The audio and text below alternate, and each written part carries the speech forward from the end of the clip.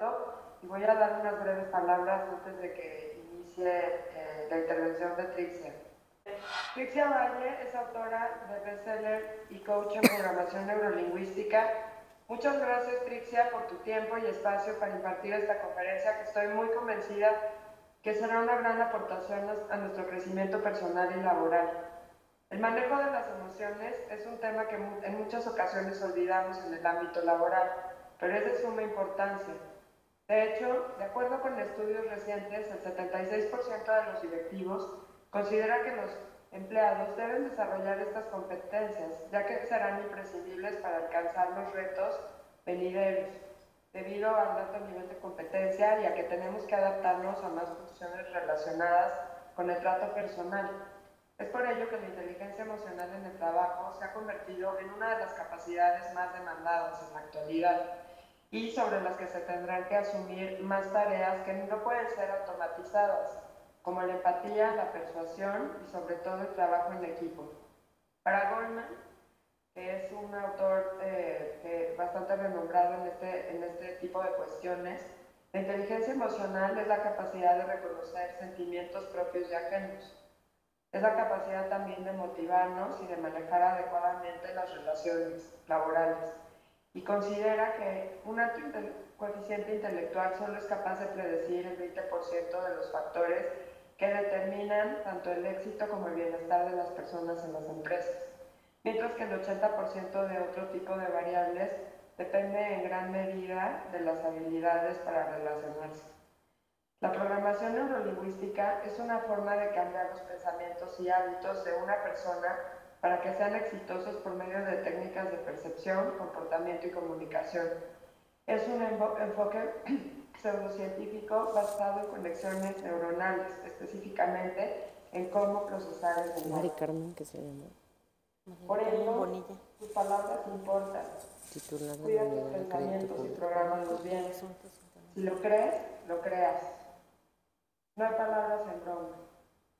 Ante la necesidad de crear conciencia e implementar el manejo de emociones en nuestras áreas de trabajo, es importante fomentar espacios de intercambio de conocimiento para crear sinergias sanas entre los colegas encaminadas a desarrollar, como mencioné anteriormente, la empatía, el compañerismo y mejorar nuestro manejo de las emociones, sobre todo cuando estamos enfrentando altos niveles de estrés o depresión, carga laboral. Como servidora pública reconozco y celebro el esfuerzo de cada uno de ustedes por trabajar en esta unidad y que todos los días con los recursos que tenemos hemos logrado obtener excelentes resultados que han sido reconocidos. Me es grato ver el interés de ustedes por profundizar en este tema el día de hoy. Agradezco a todos los presentes por su compromiso y los invito a que, salgamos, a que sigamos perdón, trabajando en mejorar nuestro entorno laboral mediante este tipo de herramientas. Les cedo la palabra. A que ha logrado cosas, pues es la primera mujer, ¿no? En ocupar un cargo público de ese tamaño, ¿no? Yo me imagino que ha de ser algo impresionante para una mujer y para todas nosotras, y más que ya el miércoles es el Día de la Mujer, pues qué maravilla poder estar aquí con ustedes. Muchas gracias por el favor de su asistencia. Yo he tenido la, fortuna, porque no es otra cosa, de ya capacitar casi a 200, ¿verdad?, funcionarios, Cintia, de, de crédito público allá en, eh, ¿cómo se llama? En La Viga. Agradecer a la titular de la unidad el favor de esta, pues ahora sí que de esta deferencia y a Cintia y a Rosy que organizaron todo esto porque ellas son adoradas personas que han, eh, pues ahora sí que transformado su vida con esto que hoy les quieren aquí, por tomarse esta mañana para aprender, para vivir, para disfrutar. Y lo primero que les voy a pedir es si dejamos a un lado el teléfono y vamos a cerrar los ojos un poquito. Vamos a cerrar los ojos para hacer un, un inicio de día diferente, un inicio de día en reflexión, en plena conciencia, en amor. Y bueno, vamos a respirar. Sacamos el aire y respiramos y soltamos el aire y vas a poner frente a ti una puerta roja. Y justo te vas a acercar a la puerta y la vas a cruzar. Y del otro lado vas a encontrar la playa más blanca, la arena más suave, el cielo más azul y el agua más cristalina. Y al cruzar esa puerta y al llegar a esta playa, sientes tanta paz que hasta te da un escalofrío de la emoción que sientes, de que estás ahora en una total paz, en presencia. Y respiras. Y sueltas el aire. Y sientes que hasta el aire huele distinto. Y de pronto, frente a ti, empieza a acercarse una luz. Es una luz muy pequeña, que conforme se acerca, cada vez se hace más grande y más grande y más grande. Y de pronto ves a esa niña, a ese niño que fuiste frente a ti. ¡Wow! Lo miras a los ojos, la miras a los ojos y no lo puedes creer. La niña, el niño te dice, hola, y te toma de la mano y tú lo miras a los ojos y le dices, wow, ya no me acordaba de ti. Y te dice, yo soy el que estoy impresionado, porque eres más grande, más fuerte, más valiente, más alta, más alto de lo que jamás pensé. Wow, has llegado muy lejos. Mira el trabajo que tienes, mira dónde estás ahora. ¿Te acuerdas todas esas noches que pensábamos que no íbamos a pasar el examen? Y esas noches que nos dormimos llorando por algún regaño. Esas veces que nos sentimos tan débiles, tan vulnerados. Y ahora tú cambiando el mundo, wow, es impresionante verte ahí. Y respiras y sueltas el aire y sientes un nudo en la garganta del contacto que está haciendo tu niño, tu niña contigo, con esas palabras maravillosas que te acaba de dar. Y de pronto extiendes tu mano frente a ti, sin abrir los ojos, extiende tu mano frente a ti. Y siente cómo ese niño, esa niña cada vez es más chiquita o más chiquita. Y se empieza a hacer de un tamaño que cabe en la palma de tu mano. Y cuando la tienes ahí, la miras, lo miras a los ojos y le dices, nunca más me olvidaré de ti. Y esa niña te dice, aquí estoy, soy parte tuya y nunca me voy a ir. Y respiras y sueltas el aire y lleva tu mano sin abrir los ojos a tu corazón y guarda ahí a ese niño, a esa niña por siempre. Y ahí consérvalo, ahí manténlo, con todo el amor, con todo el cariño. Y así sabes que esa parte que acabas de completar tuya, jamás la vas a olvidar. Y de pronto, sabes que es momento de regresar aquí donde estamos. Y volteas a tu derecha y ves la puerta roja. Te acercas y al cruzar la puerta te das cuenta que acabas de regresar aquí donde estamos, mueves tus manos, mueves tus pies un poco, respiras, sueltas el aire y cuando estés listo, cuando estés lista, abres los ojos. Todo hacer todo, ir a todo, lo que me hizo fue acabar sin vesícula, sin matriz y casi sin medio intestino. De corajes, pero más allá de lo que hacía, porque yo estoy segura que muchos de ustedes tienen puestos muy altos o cosas muy buenas que hacen y, que las hacen desde el amor, pero yo las dejé, yo, yo, las dejé de hacer desde el amor. Y lo que más me hizo cambiar desde el amor, los que tienen los brazos cruzados, les voy a dar la primera programación de neurolingüística, descrúcenlos, please. Porque cuando tú cruzas los brazos, te estás protegiendo y a lo mejor te estás protegiendo de algo que ya te chocó, que dije, pero no importa, ya en media hora ya no tienes que oírlo. Pero mientras, ábrete, regálate el abrirte. Ah, regálatelo. Y, déjalo entrar, o sea, sí, a lo mejor yo si hubiera estado de tu lado y me dicen, y me quitaron la Beatriz y el intestino, pero yo estoy haciendo para transformar México, para que los niños sean felices, para que no sé qué, y por eso bajo programas de gobierno, y por eso viajo a Veracruz, a esto, al otro, bajo, regreso, subo. ¿Sabes qué? Nadie te lo agradece, nadie te lo está pidiendo. Nadie, y sabes que cuando haces las cosas desde el ego, no funcionan, no surgen. Y cuando me regresé a mi esencia, que es ir a darles un curso dos semanas todos los días, cuando voy a las escuelas a brincar y bailar con los niños, cuando voy a dar coaching y mis sesiones y contacto con las realidades de las personas, eso sí es desde el amor. Entonces ahora sí puedo venirte a hablar desde el amor, no desde mis conocimientos o mis títulos o lo que he hecho, porque eso no vale de nada, eso no sirve de nada. Lo único que importa es quién eres y así tengas el puesto, el que sea, secretario de Hacienda o el presidente, necesitas estar contactado con la gente, porque si no dejas de trabajar para lo que estás y solo trabajas para tu ego, para tu propio reflejo. Justamente, que no se confundan, porque dice, hasta Confucio estaría confundido ante la ola de tecnología que no te deja ni pensar.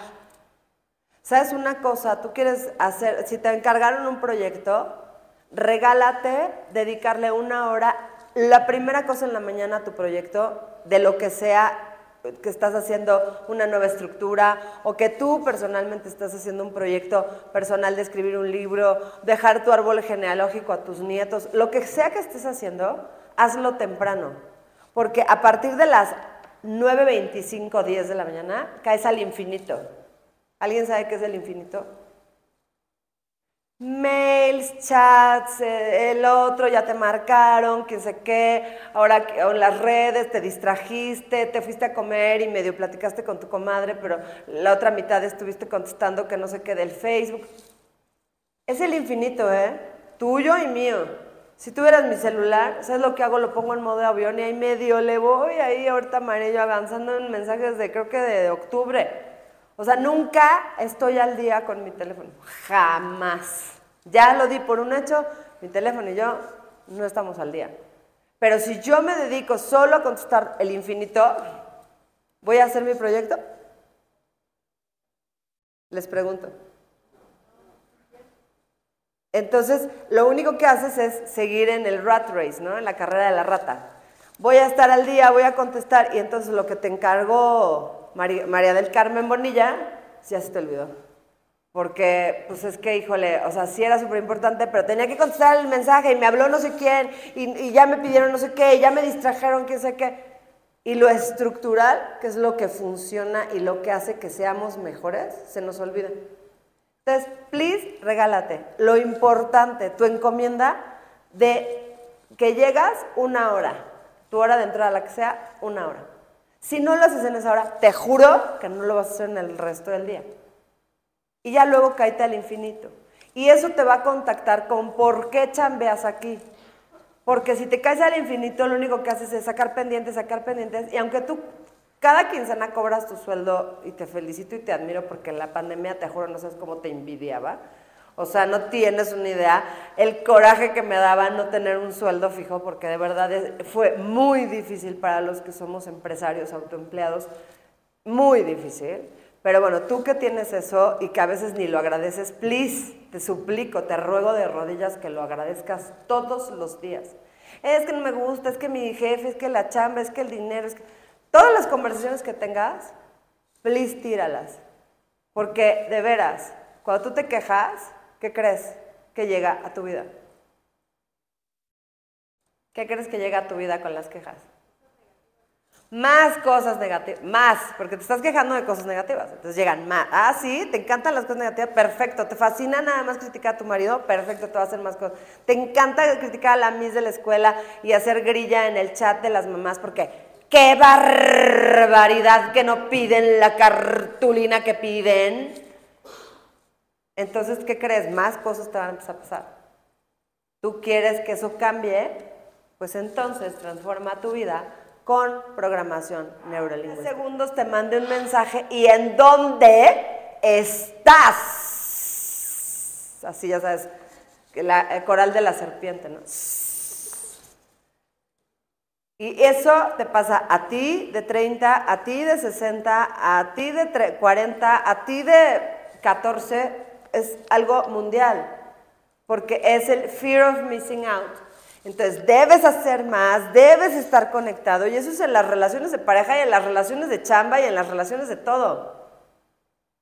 Creemos que tenemos un control remoto hacia las personas por tener un celular. ¿Por qué no me contestas? O sea, oye, a ver, si ahorita tú me hubieras marcado dos mil veces, no hay señal aquí. O sea, si yo tuviera un bully esposo o un bully novio, o sea, ya me hubiera matado porque, o sea, aquí no entra el celular. Entonces, esas son las cosas que te drenan la energía, drained, te exprimen así como chícharo. Se te va la energía al suelo. Y la otra es YOLO, you only live once. Solo vives una vez. Me estoy perdiendo Acapulco viernes por chambear en Hacienda.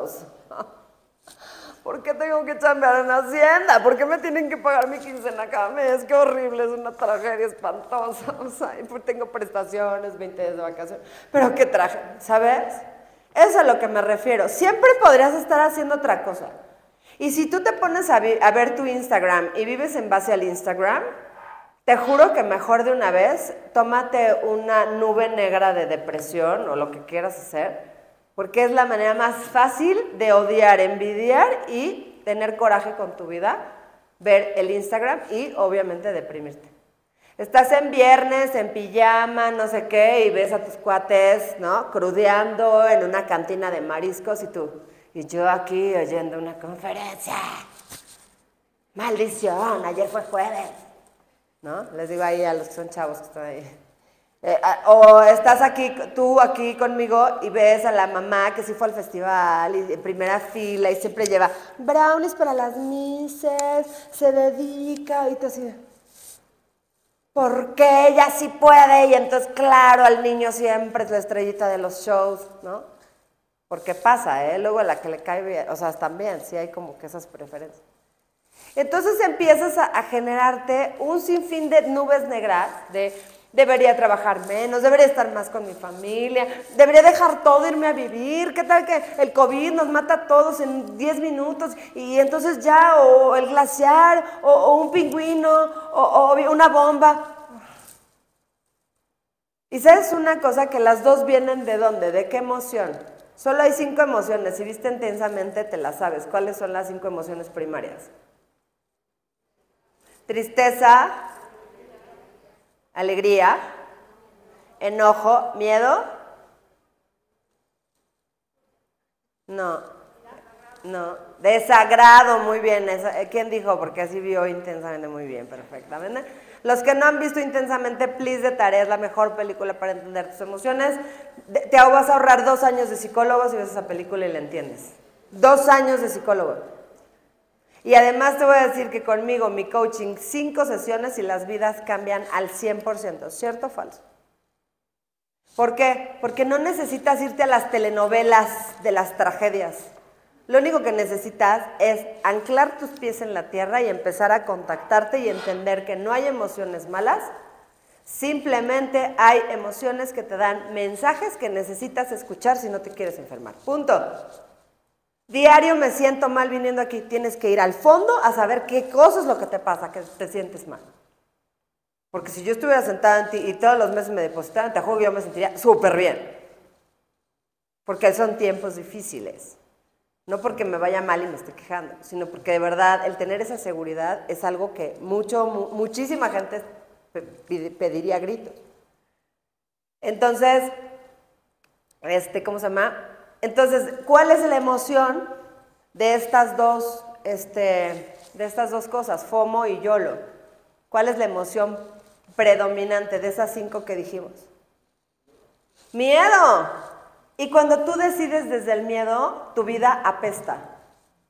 Lo que sea que decidas desde el miedo. Me voy a casar porque qué miedo que, no me, que, que me quede sola y en un año estás divorciada es que mejor me voy a ir de vacaciones, voy a agarrar el paquete porque qué miedo que ya no encuentro otro. Y justo ese fin no puedes ir porque por algo tu intuición te decía, no lo compres, no lo compres, no lo, no lo compres. Pero ahí estás por el miedo decidiendo. Cuando decides desde el miedo, siempre te vas a equivocar. Siempre. Cuando decides desde el amor, es porque era una decisión que sí fluía en ti. Esas son, esas son las emociones, para eso son las emociones, para que las escuches, no para que te traumes, no para que las evites, no, así de, ayer un niño, así de, cinco años. Es que yo, ¿cómo pasaste la pandemia? Esa era la pregunta. No, pues estuvo todo bien, porque yo siempre tengo que estar contento cuando estoy en mi casa. Qué asco de programación neurolingüística. Si el niño cuando se enoje, se siente, aparte de enojado, se siente que culpable, así aquí la, este, ¿cómo se llama? El flagelo de, como les decía en mi curso, el trinche del diablo, ¿no? Así picándote, no, eres un niño malo porque te enojaste, pobre de mami, ella que tanto trabaja. Please esos chantajes, ¿quién tiene hijos? Esos chantajes tienen los a la basura hoy. Si les puedo dejar algo, por favor, tírenlo a la basura. Yo que trabajo tanto por ti. Y tú. Tú quisiste tener al hijo y trabajas porque si no todos se mueren. O sea, anyway, de todos modos ibas a trabajar, con hijo o sin hijo. O sea, no era opción múltiple. Bueno, a menos que seas hijo de Slim, no sé si eres. Pero si no, todos los demás humanos mortales tenemos que chambear. Y no es culpa de tu hijo ni de tu hija. ¿Cierto o falso? Entonces, ese rollo de pasar tus paquetes de frustraciones a tus hijos y, hacerles promesas de, siempre que estés en casa, con mami tienes que estar contenta. Tíralas a la basura. No sirven de nada, solo llenan a los pobres niños de culpas. Entonces, entre peras y manzanas, mira, ahí te va la lista de toda la programación neurolingüística del planeta. Ahí te va, ¿eh? Recesión económica, pandemia y muerte, guerra, desempleo, falta de oportunidades, encierro, cuidado 24/7 de los hijos, relaciones familiares sin espacios propios, aumento de deuda personal en la pandemia, de, acuerdo al CEPAL. Ustedes deben de saber más qué es eso que yo, pero no tengo ni la menoridad, pero yo lo sé que de internet, supongo que es verdad. Y la mente es un campo de batalla. ¿Sí o no? Y luego súmale que no sé quién ayer en la comida dice, y tú ya te vacunaste. Y yo, ¿y ahora de qué demonios me tengo que vacunar? No, no, no sé ni qué me hablas. De que ahora hay un nuevo que que... Le dije, ¿sabes qué? Te pido un favor, please. No me hables de eso. ¿Y por qué te digo eso? Porque esa es tu primera programación neurolingüística. No escuches basura. Cámbiale al canal. Así sea tu jefe, cámbiale el tema. Dile, oiga jefe, ¿y entonces cómo le fue de vacaciones? Y ya, le cambias el chip. No, tienes que ir a, hacer tu tesis de que la persona de enfrente sea pacífica y hable de cosas. O sea, no eres coach neurolingüístico. Mándalo conmigo si quieres. Pero tú no le hagas ese coaching, no eres coach. Y nada, te vas a empleitar con fulanito, sutanito, tu novio, tu esposo, tu suegra. Mi, tu mamá, tu suegra. Cámbiale al canal y yo, ah, ok, bueno, bye. O sea, ya, o sea ni discutas, pero no lo escuches, porque luego tienes pesadillas con, esos, con, esos, con esas basuras. Entonces, bueno, pasado, pisado, o sea, háganla así. Allá atrás, háganla así. Y ya se fue. Por favor, el pasado no va a regresar. No, no puedo, no puedo hacer nada, no puedo vivir. No puedo. Y eso nos enseñó que necesitamos equilibrarnos más porque somos personas integrales. Se pensaba que la energía y la motivación eran las herramientas para triunfar, o sea, que al que le va mal es porque no le echa ganas. Era como la filosofía mundial. Y hoy, después del COVID, no es cierto. Hay circunstancias.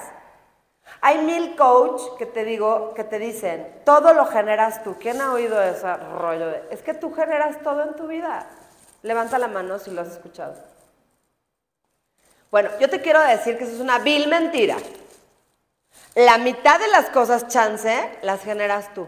La otra mitad son circunstancias del destino. Que se muera tu mamá o tu perro, no lo generaste tú, bueno, a menos que le hayas matado de hambre al perro o hayas matado a tu mamá, no creo. Pero fuera de esas cosas, son cosas del destino. Que llegar el COVID para todos fue un destino, no nos lo autogeneramos, créeme. Si tú perdiste tus ahorros porque los invertiste un día antes de que te dijeran pandemia, también no fue una cosa que tú te generaste, fue una cosa del destino, fue una cosa circunstancial. Y se las digo porque hay mucha gente que siente mucha culpa de cosas que no hizo o que pasaron en la pandemia. ¿Cierto o falso? La toma de decisiones se dañó después de la pandemia, porque compraste un viaje a Las Vegas en enero y tú, y era para abril, ¿no? Y tú, ah, ¿para qué? Si no, y te instalaste en la culpa por eso o por cualquier otra cosa. Por haber pagado la reinscripción de tus hijos para que fueran virtualmente. Dices, ay, ¿para qué la pagué? Me hubiera esperado. Todo ese tipo de decisiones te chocan, ¿cierto o falso? En la pandemia chocaron contigo, chocaron contigo, contigo y con todo el planeta. Eh, también nos enseñó la pandemia que era antes un orgullo ser workaholic y después de la pandemia ya no tanto. Pero en la pandemia sí te volviste workaholic porque trabajar por Zoom es la cosa más drenante, cansada, agotante que existe en la Tierra. ¿Cierto o falso? Eh, las carreras antes del COVID eran predecibles, constantes. Hoy aquí en Hacienda y Gobierno pueden ser un poco más, pero en iniciativa privada, cero. Lo que hoy tenía seguro, mañana puede ser volátil al 100%. se llama un momento VICA, que es ¿cómo se dice? Volatilidad, algo así, este, incertidumbre, cambios constantes y ansiedad. Y más ustedes, que están en un área totalmente volátil, ¿o no? Entonces, ¿qué es la programación neurolingüística? Es un conjunto de técnicas diseñadas que nos posibilitan cambios a corto plazo. Por eso mi coaching es cinco sesiones aquí y ahora, dos, tres meses y tu vida cambia, pero cambia impresionante. ¿Por qué? Porque te programas diferente. Pero para programarte diferente tienes que quitarte toda la basura de creencias y cosas que pensabas antes. Y eso se puede hacer en grupo, personal. Viendo un video es muy difícil porque necesitas ir a tocar tu realidad. Puedes verte todos los videos de programación neurolingüística y coaching del mundo, pero el coaching lo tienes que hacer tú, que alguien te da a ti, si no quieres ir arruinando tu vida. ¿Sí lo ven? Levanta la mano si lo ves. ¿Sí? Si no, ok. El que no levante la mano le voy a decir por qué. Levanta la mano si lo ves, ok. Allá atrás, ok, perfecto. Allá hasta atrás, bueno. Entonces, si tú tienes creencias negativas, es muy rígidas, tu programación neurolingüística es rígida y entonces tus problemas van a ser cada vez más frecuentes. Si tú cambias con programación neurolingüística, haces un cambio permanente en tu vida, las cosas van a empezar a transformarse de una forma mágica y distinta. Vas a enfrentar y ver la vida diferente.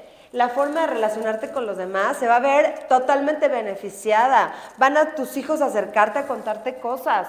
Y la PNL sostiene que toda conducta humana se desarrolla sobre mapas de pensamiento. O sea, esto no es brujería, te voy a llevar con la bola de cristal. No, no, no, ¿eh? O sea, esto es científicamente probado. ¿Qué es esta reprogramación? A través de recursos, comportamientos y creencias. ¿Cuál es el recurso? Ver tu idea eje. Pau chula, eres muy inflexible en tu crianza. ¿Qué idea eje podría poner? Voy a ser flexible y acoplarme a cada situación y no vivir en un manual de la millennial del fular, crianza con apego, la siesta super friki, ¿sí? Y me voy a acoplar a vivir una vida tranquila. Entonces, si tu creencia eje es extrema rigidez, entonces pues va a haber problemas. Eh, ese recurso y esos comportamientos y esas creencias se pueden buscar de una forma muy sencilla si vas con alguien que sepa un método para llegar a tu creencia eje rápido, muy rápido, ¿sí? Em, para mejorar nuestra calidad de vida y esto se hace muy evidente en la forma que te empiezas a comunicar con los demás. La gente te va a decir, te veo diferente, te veo distinto. Hay un libro que conocí ahora la autora en la FIL que se llama Cómo hacer que te pasen cosas buenas. Y es simplemente empezar a hablar diferente, comportarte diferente y vivir diferente. ¿Qué hora es? Y con esto terminamos.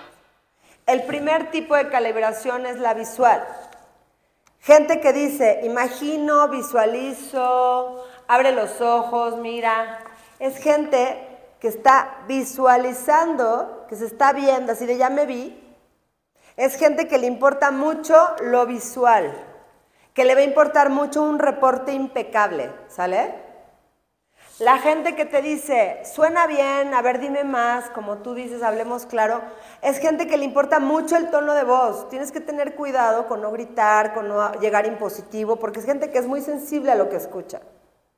El tercero es kinestésica. Me late, siento que esto me vibra, se siente bonito. Hay que tener cuidado, para bien o para mal, que es gente que con el contacto se siente amada. Entonces, también puede ser gente que se sienta muy vulnerada porque le agarres así de, ay, oye, ¿cómo estás? Es que nada más te roce, no, es que tocaste, invadiste mi espacio, o sea, puede ser para bien o para mal, ¿ok? Y la cuarta, olfativa, gustativa, que dice, traigo la boca amarga, esto me huele mal, ¿no? Es gente que es muy perceptiva, entonces hay que tener cuidado con no hacer sospechas con esas personas. ¿Quién se identificó en visual? Levanta la mano. ¿Quién se identificó en olfativo? Levanta la mano. ¿Quién se identificó en kinestésico? Levanta la mano. ¿Quién se identificó en auditivo? Levanta la mano. Ya te llevaste hoy un aprendizaje. Y así aprende a ver cada persona para que puedas calibrar. Y la escucha activa es justamente estar recibiendo la información que te dé el otro. Cuando hables con alguien, evita estar todo el tiempo buscando qué contestar. Los errores de escuchar son el que simula escuchar, el que. Ajá, ajá, ajá, sí. ¿Y luego? Ajá. Esos no te están oyendo. Dos, los que te interrumpen. No, espérame, déjame te digo algo antes porque de lo que estás diciendo, espérame tantito. El intérprete. Ah, ok, ya entendí lo que quieres decir. Es que entonces yo, tal, no sé qué. Tampoco te estoy escuchando. Los aprovechados. No, es que el fin de semana voy a una boda. Ah, yo también, pero la mía está más padre es en Acapulco, porque entonces yo te juro que tengo una casa, ¿no? Eh, los desafiantes. No, es que fíjate que voy a Acapulco. ¿Por, qué Acapulco? Hay muchísimo tráfico. ¿Ya pensaste en las casetas? ¡Qué barbaridad! ¿No? Y el consejero, yo te recomiendo que te tomes tus precauciones para ir a Acapulco. Tú solo le querías contar que vas a una boda, o sea, ¿qué te importa? O sea, yo sabré cómo me voy, a qué horas me voy, ¿qué te importa? Si me voy en avión, en tren, en burro, caminando. ¿Qué te importa? Entonces, bueno, les iba a hacer un ejercicio que al final si quieren quedarse, los que quieran y los que se tengan que ir se pueden ir, pero les quiero decir dos cosas más. La PNL cambia la idea eje y mejora tus experiencias. Si tú quieres vivir una experiencia distinta, de verdad, atrévete a vivir esto. Desarrolla tu inteligencia emocional, empiezas a tomar mejores decisiones y cuando te quieras enojar y hacer tu punto de estoy enojada, sí lo vas a hacer, pero lo vas a hacer con intención de hacer un punto, ¿sale? Y no por un arrebato. Tres, la calibración te va a ayudar a identificar con quién estás hablando y cómo debes hablar con esa persona. La sincronización requiere escucha activa. Si eres tú de los de ajá, ajá, o de los consejeros de te recomiendo que déjalo de hacer, porque eso interrumpe la convivencia con el otro. Y cinco, evita los patrones negativos de escucha, los que habíamos dicho. Y les traje varios libros, pero uno principalmente es el que les di en el curso a todos que es una herramienta de 290 pesos, o sea, realmente, y no es que yo viva de esto, o sea, de verdad yo me llevo 20 pesos o no sé cuánto, o sea, al final, el tema de esto es que aquí vas a conocer exactamente todo lo que hay en tu interior. ¿Qué es lo que hay en tu interior? O sea, ¿cómo puedes tú conocerte o cuál es mi técnica de coaching? Es muy sencilla. Este es un libro de Urano que lo puedes comprar en Summers, en Gandhi, en Porrúa, en donde quieras. O sea, no es para que, para que, de lo que te quiero explicar es que la vida tiene tres componentes. El primer componente es tu temperamento, que es algo que nunca va a cambiar. Pero hay mil libros que hablan del temperamento, pero hay muy pocos, o ninguno, que te hace un test para que sepas cuál de ellos eres, sanguíneo, colérico, flemático, melancólico. Porque esa va a ser la base para que entiendas tu escucha activa, para que entiendas tu personalidad y que entiendas que eso no va a cambiar nunca. ¿eh? Si eres flemático, tomar decisiones siempre te va a costar trabajo. Después que entiendas tu huella de nacimiento, cómo naciste y cómo llegaste al mundo y la experiencia intrauterina es vital para entender tus telenovelas personales. Te aseguro que la tal que decíamos del supercontrol que mandó a la suegra con su maletita, esa chava, te aseguro que en la panza de su mamá, la mamá se restringía de no vaya a engordar, no, no sé qué, porque eso es una huella de nacimiento. Se vuelve gente muy restrictiva, pero todos tenemos una. Hay que descubrir cuál y aquí está el método para descubrir. Y tres, por último, es la herida primaria. Todos tenemos una herida primaria. Humillación, traición, injusticia, rechazo y abandono. Y hay mil autores, Liz Bourbeau, Las cinco heridas que no te dejan ser feliz, y mil libros que hablan de eso. Pero la diferencia con este es que viene un test preciso y exacto para que sepas cuál es tu herida primaria. Y no solo que sepas cuál es tu herida primaria, sino que a cada una le pongo un personaje. Entonces, el de rechazo se vuelve un ratón.